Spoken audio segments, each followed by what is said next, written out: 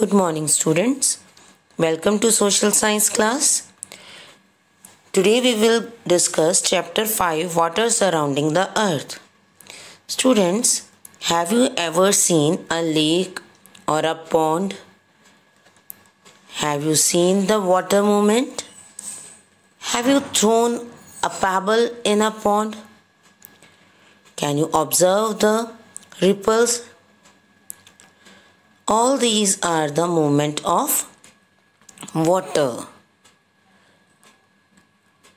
These are the huge waves. Okay, so these are the movement of water. Sometimes these are as used as, as these destroyed the cities or areas. Okay, so there is a question that how these waves are formed. So our topic is movement of ocean water. So today we are going to discuss movements of ocean water. Those are waves, ocean currents and tides. Waves. Waves are the rhythmic movement of water particles. It creates a pattern.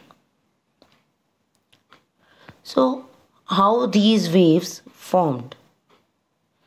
These waves are formed by the wind. When wind touches the water, it forms a pattern. It moves the water, the surface water, and forms a pattern. जब भी air और wind water के साथ touch करती है wind जो blowing wind होती है, वो वाटर के अपर सरफेस से टच करेगी हमेशा। तो जब भी वो टच करती है तो वाटर में मूवमेंट स्टार्ट होती है। और इस मूवमेंट से एक पैटर्न बनना स्टार्ट हो जाता है। Right right? हम वेव्स का पैटर्न कैसे बनाते हैं? इसी वे में बनता है ना वेव्स का पैटर्न ओके तो ये पैटर्न बनना स्टार्ट हो जाता है वाटर के अपर सरफेस पे ओशंस के सरफेस पर अपर वाटर पर। ओके एंड इन रियल जो वाटर है it doesn't travel with the wave it is on the same place. It just gives the movement to the next water particles. Okay? जैसे अगर हम एक रो में खड़े हैं तो हम पुश करते हैं किसी को तो सामने वाला भी हिलता है और उसके बाद नेक्स्ट वाला पर्सन भी आगे मूव करेगा देन नेक्स्ट पर्सन मूव करेगा राइट सो वेव्स क्या है? जस्ट अ पैटर्न कि वो वाटर पार्टिकल्स खुद मूव करते हैं और नेक्स्ट वाटर पार्टिकल्स को मूव करवाते हैं देन नेक्स्ट तो जो वाटर पार्टिकल्स हैं एक्चुअल में they doesn't travel with the wave okay The height of waves depends on the speed of wind. Waves कितनी ज़्यादा हाई होंगी? वो किस पर डिपेंड करता है? Speed of wind and the duration of wind blowing from a particular direction और wind की ड्यूरेशन क्या है? कितनी तेज़ी से चल रही है, कितना स्ट्रांगली चल रही है और किस टाइम में चल रही है ड्यूरेशन कितने टाइम के लिए चल रही है। Okay all these things effects the height of waves okay so what are waves the waves are movement in a water body where water particles moves up and down up and down and the height of waves depend on the speed and the duration of wind blowing from a particular direction. Okay. And nowadays, waves are used to produce electricity. In some areas coastal areas जो waves हैं, उन्हें huge waves उन्हें use किया जाता है, उनकी energy को use किया जाता है to produce electricity okay next is ocean currents what are ocean currents? Ocean currents are the continuous movement of mass of water in a particular direction as the air moves same water also moves okay तो water की जो continuous movement है in a particular direction it is called water Current ओके? Water भी कभी steadily एक बिना movement के नहीं रहता। Water always moves and this water movement is known as water current. Okay? So, what is ocean currents? Ocean currents is the continuous movement of mass of water in a particular direction. Okay? And these water currents are mainly known as two water currents. These are of two types warm water currents and cold water currents. Warm water currents क्या समझ आता है इससे? That the water of this current is warm right and cold water current that means water is cold ठीक है? So just tell me where we found colder water सबसे ठंडा पानी हमें कहाँ मिलेगा?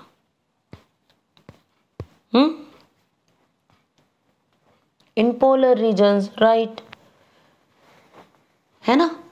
सबसे कोल्ड वाटर हमें पोलर रीजन्स में मिलेगा। सो so, जो कोल्ड वाटर करंट्स हैं कोल्ड ओशन करंट्स हैं वो कहाँ से स्टार्ट होंगी? From polar region very good है ना? तो cold currents that carry cold water towards warm regions are cold cold current ठीक है? जो कोल्ड ओशन करंट्स हैं, वो कोल्ड वाटर को वार्म एरियाज़ की तरफ़ मूव करती हैं।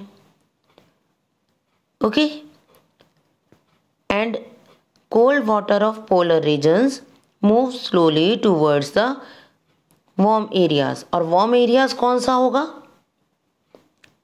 जहाँ पर सबसे ज़्यादा सनलाइट होगी। Right and this area on our earth is equator so जो कोल्ड वाटर करंट्स हैं, वो कहाँ आ रही हैं? इक्वेटर की तरफ़ वार्म एरिया यही है। So they moves towards equator okay here in this picture, you can see blue lines. These blue lines shows the cold current. Very good. ये जो ब्लू लाइंस हैं, ये आपको कोल्ड करंट शो कर रही हैं। और आप देख सकते हो it is visible that the movement of this current is towards the equator है ना? ये एरोज आपको इक्वेटर की तरफ़ जाते हुए दिख रहे हैं। राइट तो कोल्ड वाटर करंट्स जो हैं, वो किस तरफ़ जा रही हैं? वार्मर रीजन्स वार्मर एरिया की तरफ़ that is equator okay and warm water currents they moved from warmer area to colder area वो वार्म एरिया से कोल्ड रीजन की तरफ़ मूव करती हैं। Okay so currents that carry warm water to the colder regions are called warm currents. वो currents जो warm water को colder regions की तरफ़ लेकर जाती हैं उन्हें हम वॉर्म वाटर करंट्स कहते हैं। ठीक है? Here you can see the red arrows red arrows shows the warm ocean currents okay and these arrow shows that the water moves towards polar areas ठीक है? इन एरोज का जो फेस है, वो पोलर एरियाज़ की तरफ़ है। तो ये हमें पोलर एरियाज़ की तरफ़ मूव करती हुई शो हो रही है। Okay and where these currents merges there a new organism new organism developed that is called plankton very good जहाँ ये दोनों वार्म करंट और कोल्ड करंट मिल जाती हैं एक दूसरे से, उस एरिया में हमें क्या मिलता है? Plankton plankton is an organism ठीक है स्मॉल ऑर्गेनिज्म होता है plankton I will show you the picture of plankton also So firstly we will discuss warm current and cold current. As we all know that warm water is light and cold water is denser. ठीक है तो cold water जो है वो अपनी density के कारण हमेशा से नीचे से फ्लो करता है it sinks down below the warm water ठीक है? Because warm water is lighter than the cold water तो वार्म वाटर अपर सरफेस पर होता है और कोल्ड वाटर जो है, वो सिंक कर जाता है नीचे। वो नीचे की तरफ़ रहता है। वो ओशन सरफेस जो डाउन एरिया है ओशन का बेड है, उसके साथ साथ मूव करता है। ओके तो warm water currents move upwards and जो कोल्ड वाटर करंट्स है it it moves down sides ठीक है नीचे से ये स्लोली मूव करता रहता है। ठीक है it is a very slow process बहुत तेज़ी से मूव नहीं कर रहा है वाटर ठीक है so uh, water near equator equator along the the of ocean towards the poles and cold water sinks down below the warm water okay and uh, it moves slowly towards the equator clear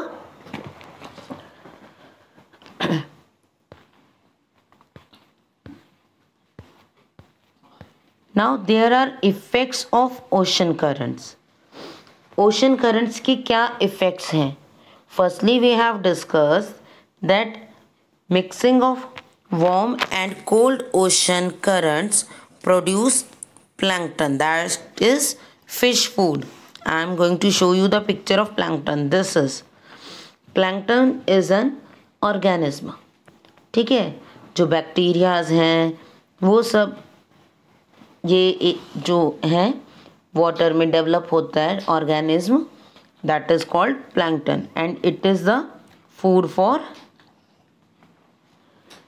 fish okay and where we found the plankton these areas serves as major fishing grounds जहाँ पर food होगा वहीं पर fish होंगी okay okay? तो जिस area में ज़्यादा प्लैंकटन होगा उस एरिया में ज़्यादा फ़िश डेवलप होंगी ग्रो होंगी और उस एरिया में ट्रेड वर्क जो फिशिंग का ट्रेड है, वो भी बहुत ज़्यादा डेवलप होगा। Okay so these areas serves as major fishing ground okay as the plankton is food for fish clear and these areas encouraging trade and commerce the ocean currents also affects the climate of coastal areas ocean currents coastal area का climate भी influence करते हैं how when a warm current passes along the coast it raises temperature and makes the place warmer just imagine कि आपके पास बहुत ज़्यादा गर्म पानी रख दिया जाए। तो आपको कैसी फीलिंग होगी? आपको ठंड लगेगी? नो वी फील वार्मर हम गर्म महसूस करेंगे। है ना? सो so, तो जिस एरिया से कोस्टल एरिया से वार्म वाटर करंट मूव करती है उसके पास से तो उस एरिया का टेम्परेचर स्लाइटली हाई हो जाता है। ठीक है? एंड वहाँ पर वार्म वाटर करंट के कारण टेम्परेचर तो हाई होता ही है बट और क्या होता है? मॉइस्चर होता है। वेरी गुड ठीक है? तो मॉइस्ट हो जाता है एंड वार्म हो जाता है and it causes rainfall also ठीक है? वार्म वाटर करेंट्स के कारण रेनफॉल होती है बिकॉज़ इवेपोरेशन हुआ राइट right? तो इवेपोरेशन के कारण रेनफॉल हुई। So the climate of that area becomes warm and moist.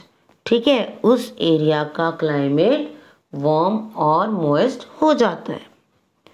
And from where the cold current moves the climate cool and dry it makes the climate cool and dry ठीक है? जैसे ही cold current moves करती है क्योंकि वहाँ evaporation नहीं हो रहा है। कोल्ड वाटर में इवेपोरेशन होता है? No no, right right? तो इवेपोरेशन नहीं हो रहा, इसीलिए जहाँ पर कोल्ड वाटर करंट्स मूव कर रही हैं, वहाँ पर टेम्परेचर डाउन हो जाएगा और इवेपोरेशन नहीं है और मॉइस्चर नहीं है, इसलिए क्लाइमेट ड्राई होगा okay so the ocean currents influence the climate of a particular area. Okay.